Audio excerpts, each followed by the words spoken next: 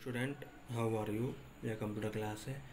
ये class third है chapter second today's topic है फिलिंग द ब्लैंक्स फ़र्स्ट में क्या आपका क्या input device allow us to send information to the computer second में क्या output device output device allow us to receive information to the computer next आपका multimedia तो multimedia हमारा क्या करता है?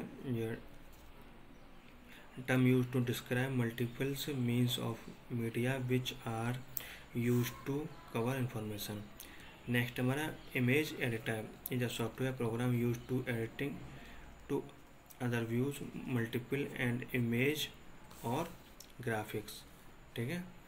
तो आपका फिल फुलंदा बिल्स कंप्लीट हो गया। इसको करना, अच्छे से फिल करके लर्न करना है आपको।